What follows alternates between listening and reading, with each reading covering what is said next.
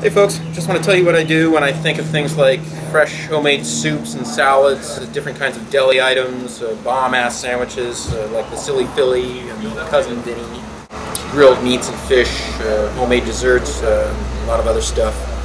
Well, what I do is I think of Gruber's Gourmet. I think of Gruber's Gourmet. I think of Gruber's Gourmet. I think of Gruber's Gourmet.